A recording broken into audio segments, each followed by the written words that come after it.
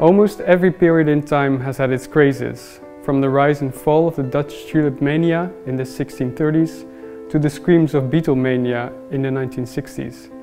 While the 1740s had its own craze, Rhino mania, and this clock is one of its finest examples, a so-called pendule au rhinocéros, made in Paris around 1750. Just picture the scene, an East India Company ship carrying a living Indian rhinoceros called Clara arrived in the Dutch Republic in 1741. The animal would eventually embark on its very own European tour and arrived at the menagerie of the Château de Versailles in 1749. She would spend five months in France, where she was examined by naturalists such as Buffon and painters such as Jean-Baptiste Oudry.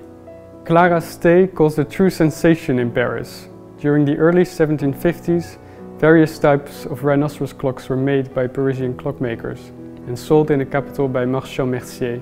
Louis XV's animal clocks, such as this one, were made using models of various animals such as elephants, lions and bulls, but the rhinoceros examples seem to have become the rarest.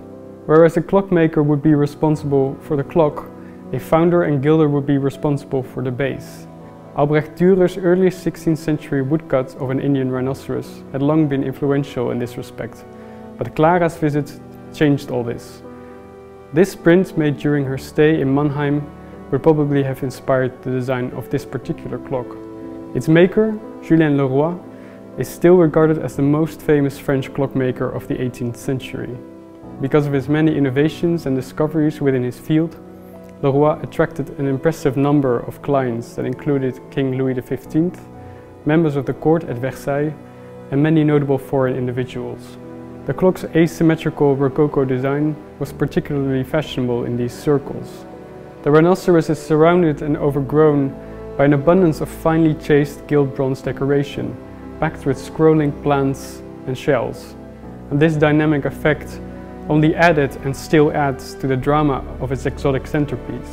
This Louis XV Pendule Rhinoceros has been in the same family for a long period of time and therefore has never been on the market before.